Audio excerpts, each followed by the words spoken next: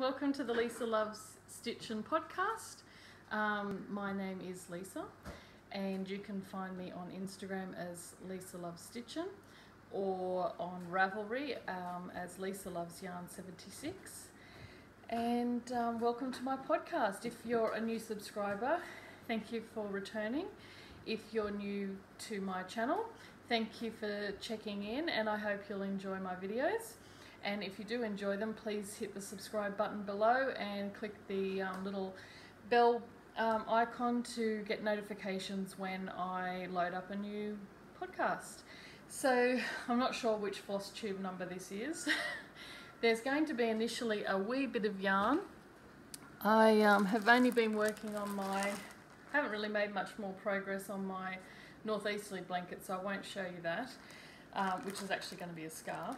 Um, but I had some yarny mail in, oh, I should say, I had some mail that contained yarn. And it was a really nice surprise from Laura of Lola Star Creates podcast. So thank you so much, Laura. It was such a nice surprise to get in the mail and um, cheered me up on my first week back at work. And um, it's absolutely beautiful. So all of this yarn is Dingo Dye Works and it's going to be going into my northeasterly um, scarf.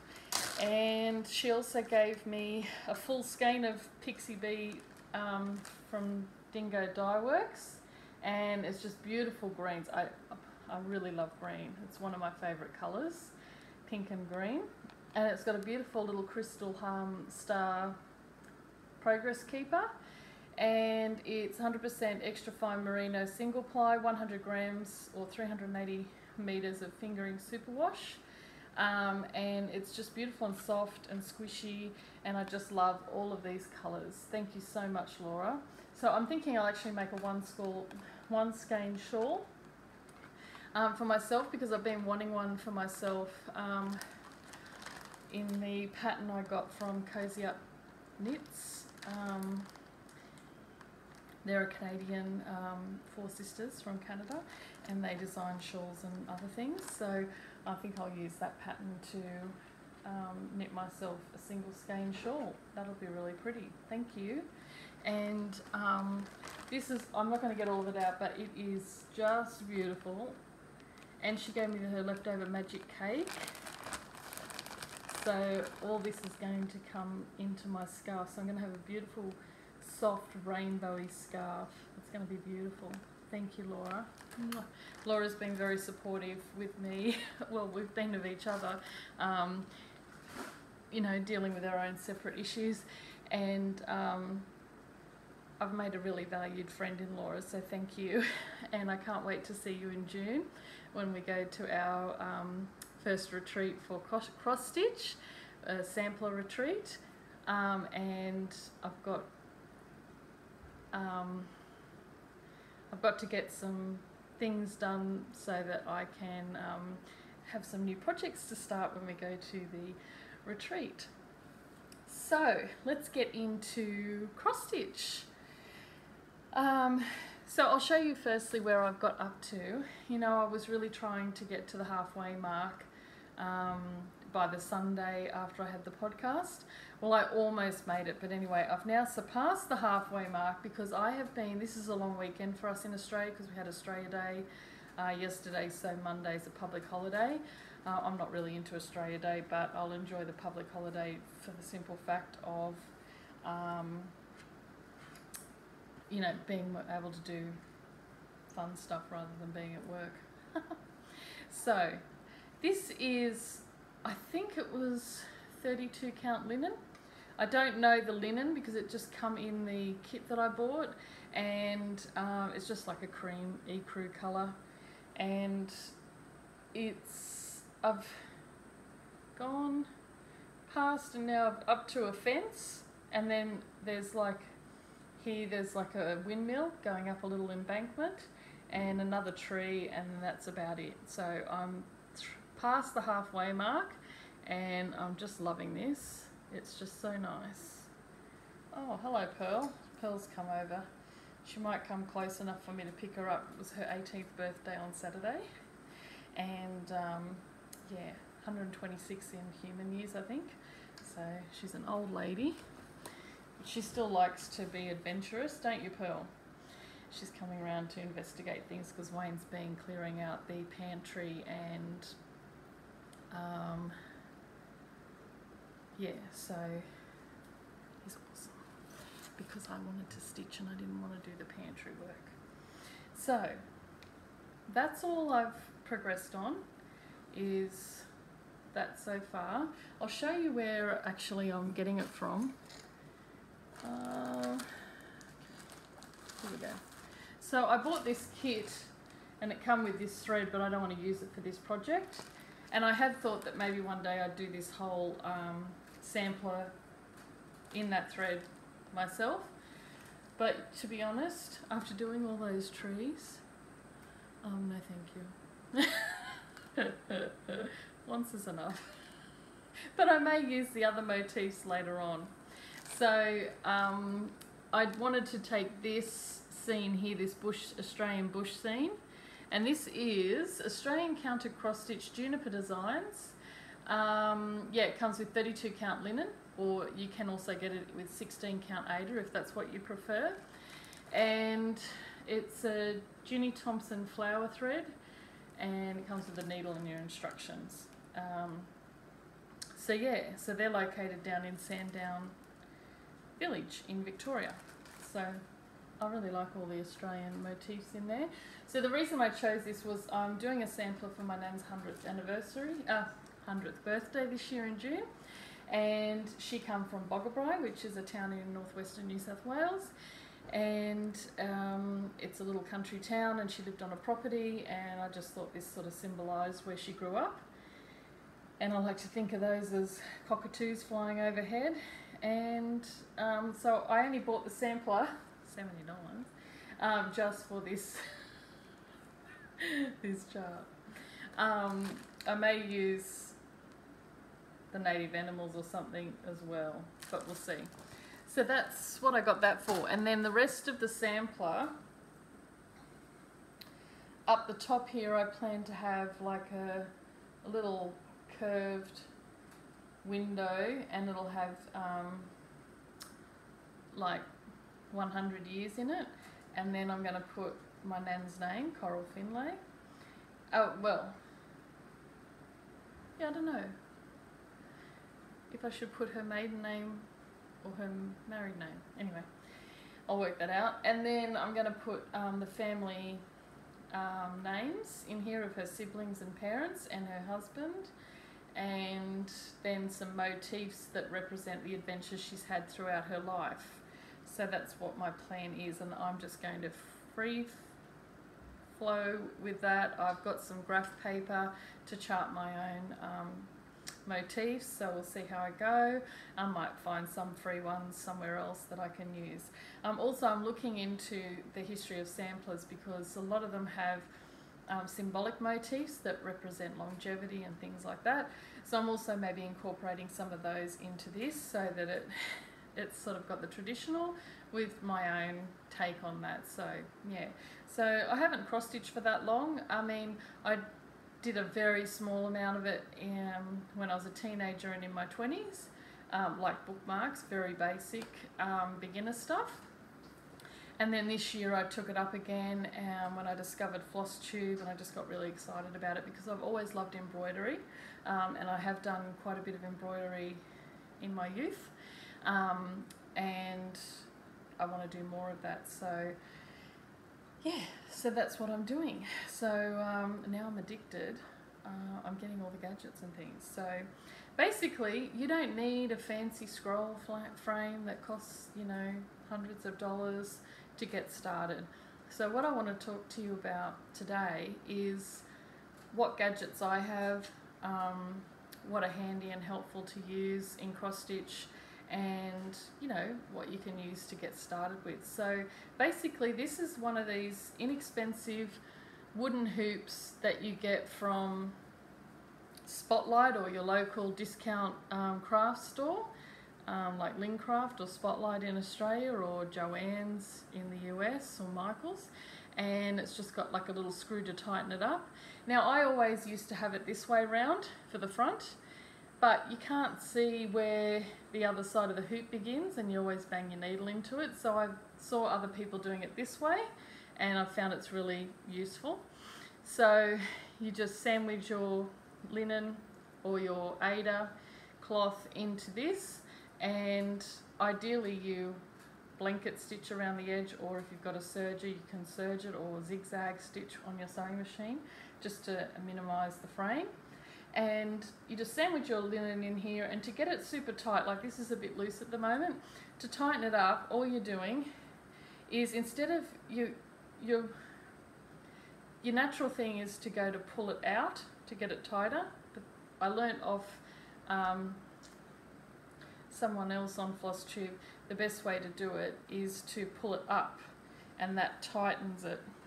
So if I go like that, that's tightening it and you just adjust it. So every now and then you might have to tighten that up and you just give it a little tug and then it gets it nice and firm. So the idea of the hoop, some people, excuse me for rubbing my nose constantly, um, some people like to stitch in hand and they prefer a stiffer fabric um, that might be like Aida cloth or like um, uh, Monaco because it's a stiffer linen. This one is particularly good here. This is from um, R&R Reproductions and it's a 32 count linen and it's super stiff. It sort of stands up on its own and that's really good if you want to do I've done all of this in hand this is a Little House Needleworks design I got in Tasmania when I was on holiday and it's um, like a little uh, sweet shop for Christmas and um, I just got this because I'd never stitched on linen and I wanted to have a go so I got a big oops I'll just put this down I got a big bit I think it's like a quart, fat quarter or something. And you can see how see-through this one is. So different counts will have a different fabric. So the count basically means how many stitches per inch or threads per inch. Um, so if you you can get Aida as an equal match for it if you prefer the ease of stitching on something that you can see the squares lined up. So I just explain, sorry if you're a super duper cross stitcher and you're not a beginner, but I thought I'd cater to some beginners because I know there's some out there that watch my podcast. So on this, I don't know if you can see there, you can see it's quite obvious the little grid of squares where the thread goes so you can just put it in the holes to make your cross. Does that make sense? Here, it's a little bit harder to see. So what you're doing is you're counting two threads, two threads up and two threads wide to make your stitch. So um, this is a little bit more difficult than using Aida cloth, which you can clearly see where you got to put your needle. Okay, um, and it's sort of like a grid pattern. It doesn't matter which one you choose, whatever takes your fancy. If you feel comfortable and you get enjoyment out of your craft by stitching on Aida, it's no less value than linen. It's just a different type of fabric. It's been around since the year dot and um, it's just a different type of fabric. So there's also an even weave which is similar to Aida in the fact that you can, it's, there's no, with linen you get little natural slubs of thread. So I don't know if you can see, see you get thicker threads and thinner threads. So um, even weave is just even threads all the way. It's that's why it's called even weave. But linen like this um, has different width slubs in the thread, so you just have to, um, oops, wait, I've just got to um, save the cat from eating plastic. Ah, ah, ah. Come on, oh, oh, don't eat, give it to me. Oops. Got any more in your mouth? Okay, good girl. Oh. Anything crinkly? Oh my god, she's gonna choke on plastic. I'm normally really vigilant. Um, if you have a cat, FYI, they go for anything crinkly, plasticky, like having a kid. So I can't have it choking on that. So um, normally I'm very vigilant about it. I don't leave plastic bags around, I don't leave wrappers on the floor or tinsel or um, the curling ribbon um, because they'll go straight for it. and then you've got a vet bill.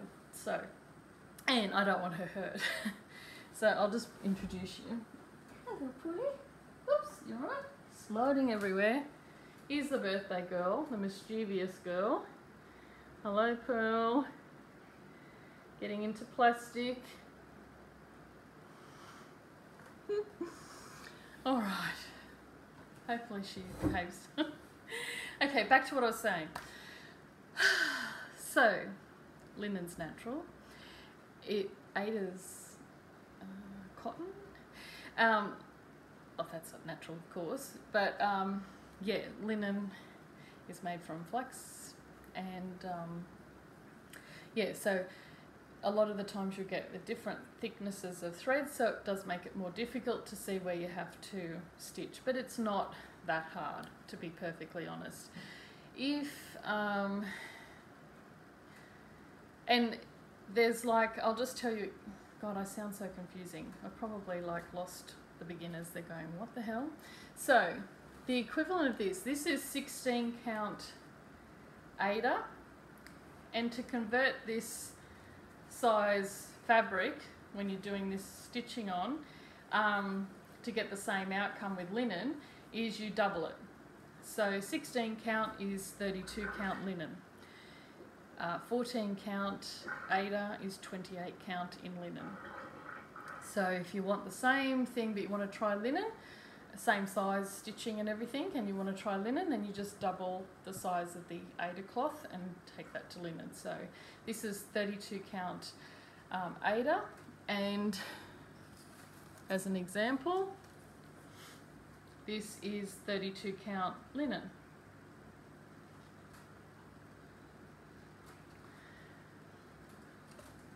so that's that so it doesn't really matter what you stitch on, whatever you're comfortable. You might want to try a few different fabrics um, and just see how you go. You might go, oh, I don't really like that. So the higher the count, the finer the fabric. So you'll get 40 count, which will be really hard to see the, the um, holes to where you've got to put your crosses. And then you can have like up to 60 count or probably even higher. And um, some people even um, stitch on silk gauze which looks amazing but would be really hard. um, now, gadgets, what's helpful for me is something that I'm comfortable holding, so a hoop. I tried a lap hoop and I didn't like it, it just wasn't for me.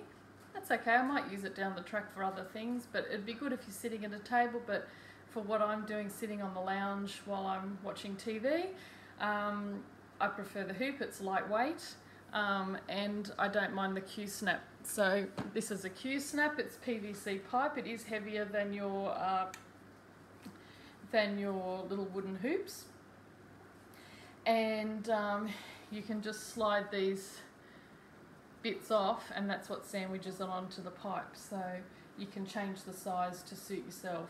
Um, so you can buy that at Spotlight and that as well as um, any embroidery shop or online on eBay or whatever, um, and also the Fox collection in Australia.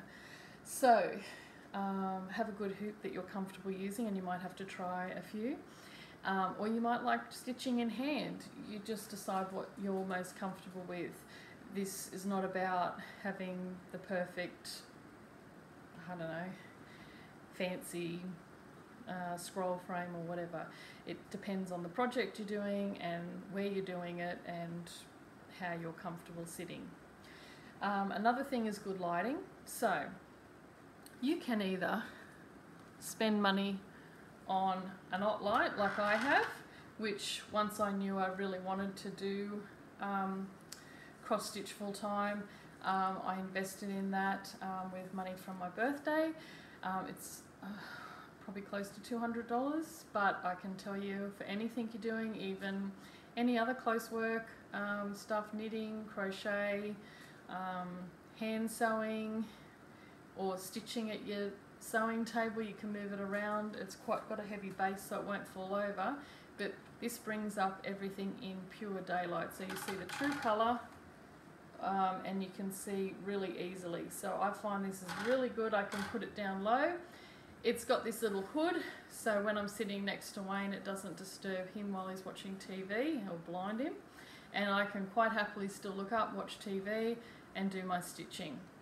Um, I will just show you this light has a magnifier which it's low but you can um, adjust the height of it to bring it up higher up here I just haven't bothered yet um, so yeah but just bear, bear in mind if you have this where the wind where the oops, sorry if you have that magnifier where the sun's hitting it through a window even just through the blinds uh, you'll see it puts a reflection on the wall or the fabric or, or your lounge or whatever. put a, um, move it or put a um, pillowcase over it um, because it has been known to get so intense with the magnification on the uh, sunlight that it has set fire to people's curtains and um, lounges and things. So you don't want you to come home and find your house is burnt down. So just before we went on holidays, Wayne noticed that the light was reflecting on the wall on um, this really intensely, and I just grabbed a, um, I turned it to the side so it wasn't making that reflection, and I put a um, pillowcase over it. Simple, done. But if you don't want to spend a fortune on um, an expensive light, I just got a daylight lamp desk light for $25 from Big W. It's a little telescopic one and it's perfect. I can take it when I go stitching outside of home. Um, I can put it near my chair um, and it's inexpensive. Another thing is having a nice window to sit next to to do stitching. Or I found sitting under at our dining table with the light above our dining table was enough to stitch at night time, no problem without this light. So you don't have to go to expense a great expense to get started with cross stitch, okay? Um, you might want to start out with a simple kit from your local um, craft store. Um, and then once you've got the bug, you might want to have a look at a needlework shop or online. And um, there's some lovely counter cross stitch charts that you can purchase, um, even small little ones. And you can make little ornaments for Christmas or Halloween or whatever you want to do. So um, yeah, it's up to you. And there's lots of patterns on Etsy, which you can print out and just get the PDF pattern. And um, yeah, so have a look at FlossTube, although I will say it's a big enabler. Because um, every time I watch it, I'm like, oh my god, I've got to get that pattern. Um, so sometimes you've got to rein yourself in. Excuse me, I'm just going to have a drink.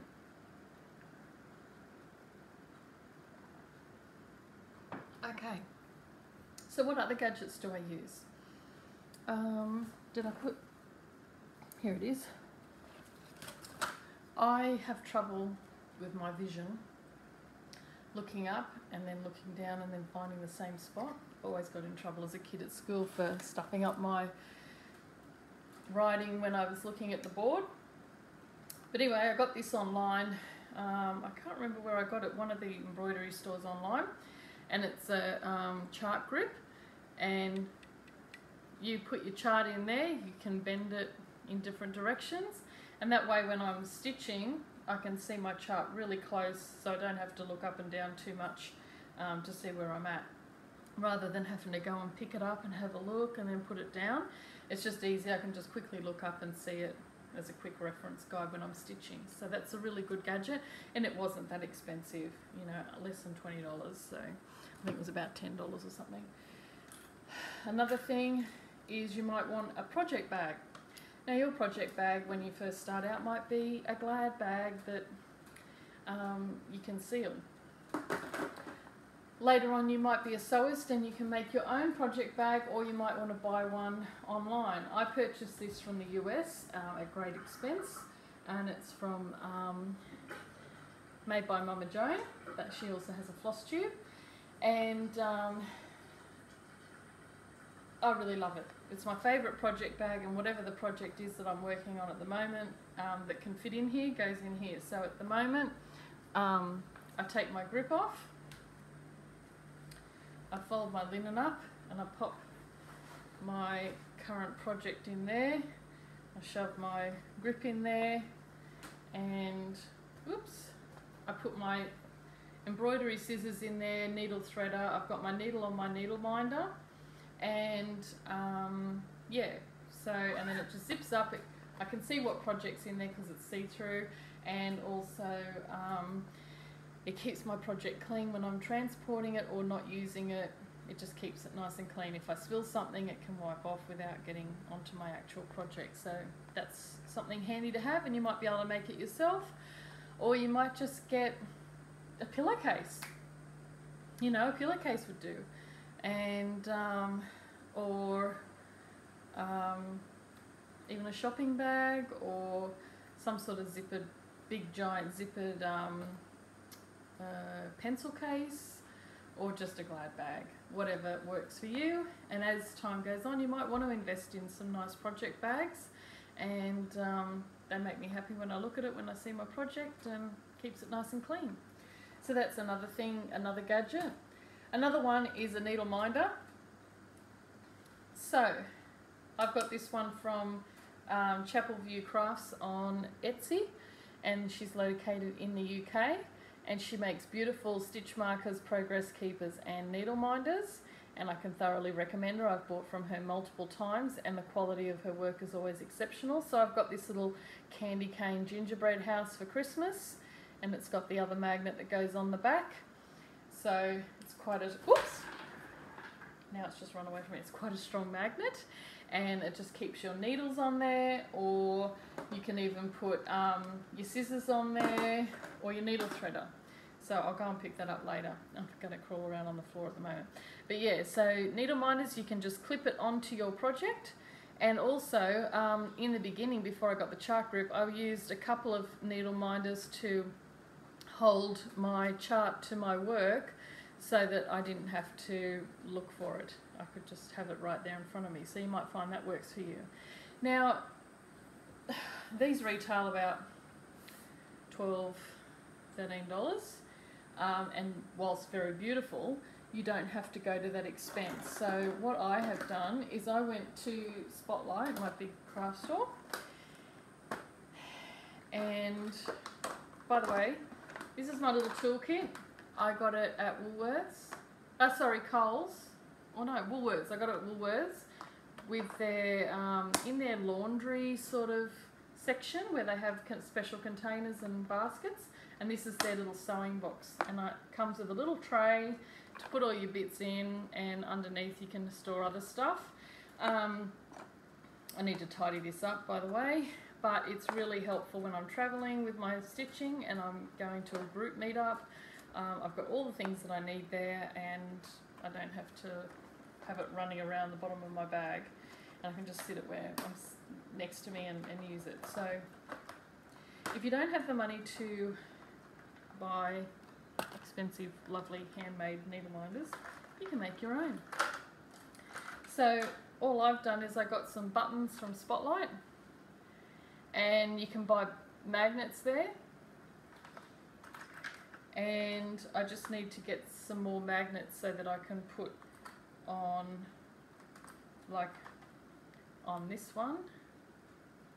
Is a little snowman and he's got a little tiny one on him.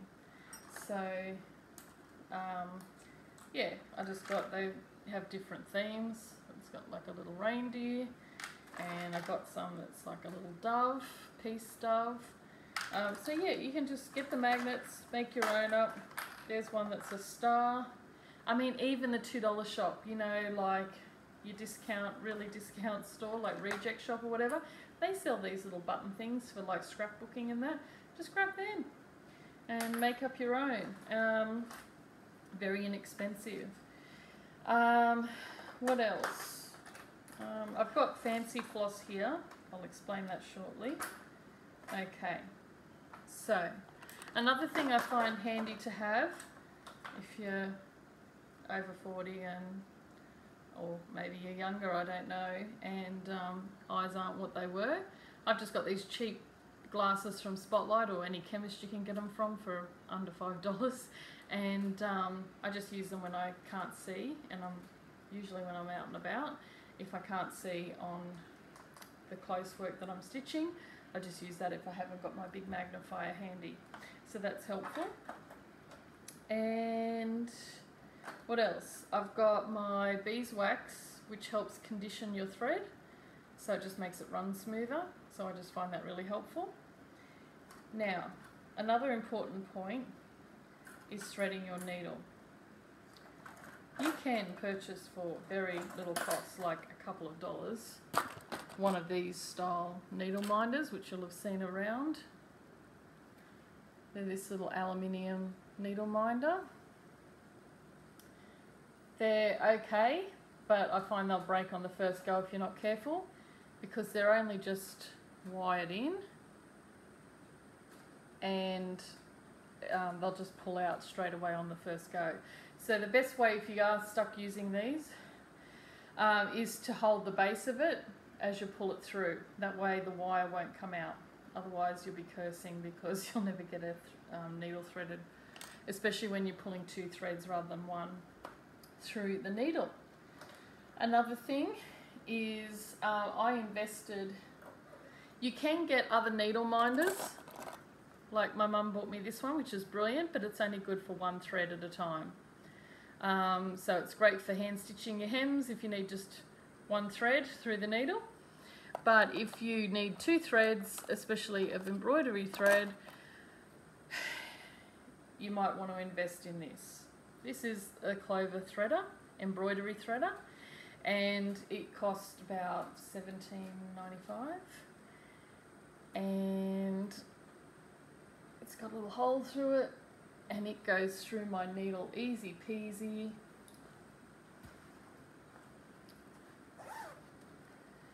There's my needle. So you put it through the needle like that. Then you put your thread, your two threads through there, and then you just pull it like that, and then it pulls the threads through your needle, the eye of your needle. Love it. Best thing I bought this year. My Clover needle threader. I got that at All Threads Embroidery in Norman Park. Really love it. Best thing. I've used it every time, no problem. Makes my life so much happier. I just can't. I just can't see the threads anymore. Um, another good investment is just some inexpensive um, embroidery scissors. I got these from Spotlight. Um, under ten dollars, maybe eight dollars or something, or six dollars. I think some of them might even be less than that. Um, where did I put it? It's always the way. I had it and then now I haven't got it. There you go. Anyway, whatever. I had um, another needle which I was going to show you. Another, God, I can't talk. Another pair of scissors. Let me just see if I didn't put it there. No. No, okay. Can't find it. Let's keep moving we'll never get through. Um, so I did have another pair of unicorn scissors that I got from Spotlight, and then I bought a scissor fob, um, the same um, format as this, um, with a little cup of hot chocolate on it with candy cane things in it um, from Chapel View Crafts, and that was really cute, so that goes with that. So, what am I going to show you next? Um, okay, gadgets. Okay, so now with your um, fancy floss. You might start out with DMC, and DMC is absolutely fine for every project you do. You just may find that some projects will quote, they usually will quote the DMC um, equivalent. No, it's not on there. Um, yeah, they usually will quote the DMC equivalent. I think it's on the back of this one. Gosh, why do I have to put everything on the things? Okay. This one has the fancy floss with it, but it also gives you a conversion for what the floss you could use if you're just using DMC, and that's quite all right. DMC, you can wash your fabric, uh, unless your fabric's hand dyed, just be mindful that it could run. Um, but if you're just using standard fabric, um, like Aida or whatever, um, and DMC, you won't have to worry about um, it running. It's colour fast. But sometimes you might use hand dyed um, fabric to stitch on or hand dyed um, fancy floss. So this is Classic Colourworks, and this one's called um, Hickory Sticks. It's from the US. Can't really show you that. It's like a brown, variegated brown colour. And then this one is Caterpillar from Classic Colourworks. It's another brown. And then we've got Weeks Dye Works um, hand over dyed fibres, and this is hazelnut. And this one is a classic Colourworks, and it's steamed broccoli. So it's slightly variegated, um, whereas DMC's like, unless you buy the variegated DMC, it is a solid colour. Um, these ones, if you use these, do not wash your project. Okay if you really feel you have to wash your project, I would do a little swatch, stitch with all the threads to see and wash it and see if it's going to run because you do not want to get your project finished and have spent hours and hours and hours working on it only to find you put it in the wash and it's um, run and your whole project's ruined. So that would be devastating. Um, yeah, so that's, sorry for crinkling, so that's all um, my key gadget advice um, just think simple at first because you don't know you might not it might not be your jam. Um, but if it is your jam you might want to invest in some tools that are quality that are going to give you happiness to use that are going to save you headaches and you're going to enjoy your projects more by using them. Um, some of the lovely um, cross stitch charts um, come with the floss and the beads that you need, like this one. It's um, Strawberry Fields Farm by the Victoria Sampler, and um, some may just come with the chart only, or some you may buy as a kit and it'll come with your fabric, your floss, beads, whatever, embellishments, um, and the chart. So this one I tried recently at All Threads Embroidery to find some green, sort of sagey olivey green fabric to go for this project later in the year, but unfortunately I just couldn't find anything suitable, so I might have to buy online. I have found some that I'm quite happy with, but I don't want to spend the money this month, so um, later in the year I might go back and buy it because um, I would like to do that project later in the year. And sorry for the crinkling again. I bought this at All Threads Embroidery for myself. And this is 32 count Belfast linen pearl grey fat quarter. So um, is quite inexpensive. Um, you might get it for I don't know ten dollars or something, fifteen dollars. Um, this one linen's more expensive. This fat quarter cost nearly thirty dollars. Um, and yeah, it's just it's a finer fabric. So it's a um, pearl grey and it's just a really nice coloured grey.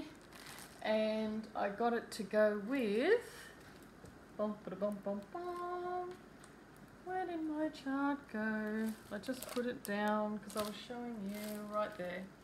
So this one that I got the fancy floss for, it's called Old White Farmhouse Sampler by Stacy Nash Primitives.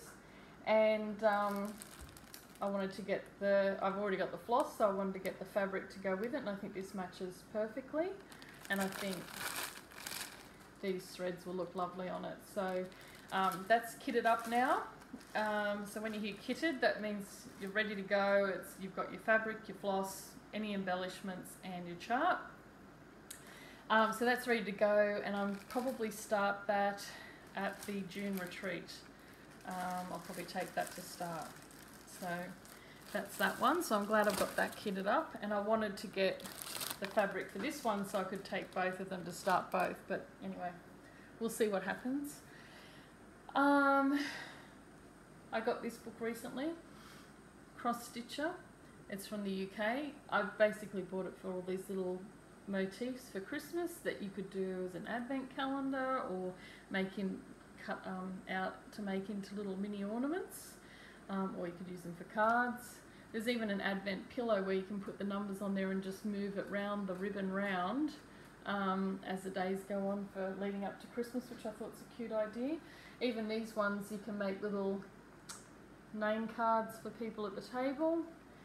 And yeah, I had. Oh, this was cute. Where is it? It's always the way. I just found it and then lost the page. This little wall hanging for the lead up to Christmas is cute. And all these basically use DMC. And oh, I like these little mason jars with Christmas themes in. I thought that was cute, so I might have to do that at some stage. So I got that, and that is basically it. So I hope I haven't confused you too much if you're a beginner. I didn't really plan, I never really plan these things. But Laura mentioned that she wanted to know about the fabric and things like that, so I thought I would explain a few bits and pieces about getting started with cross stitch. And then as time goes on, you know, you can up the ante um, as you wish or keep it simple, it's up to you. Um, your craft, you do it your way. So um, if you have any questions, um, please put them down below, comment below, and I'd be happy to answer as best as I can um, or refer you to somewhere where I know you'll find your answers if I'm not sure. Um, and that's about it. So hopefully next week um, I'll do another podcast and you'll find that I've finished that whole bottom section and then I'll be starting my uh, other um, motifs, which I'm excited and nervous about because I'm like, oh my god, I've got to chart that myself. Um, but fingers crossed, I can wing it. Um, I'm thinking to do, I really want to do some lovely um, um, wattle going down the side because my nan loves wattle. Um, so yeah, so I'll see what I can zhuzh up. And yeah, I don't think there'll be a lot happening because I'm mostly going to be focusing on that, but it'll be interesting to see what motifs I come up with. And till then, keep stitching, be kind to your fellow crafter, and um, I'll see you soon. Bye.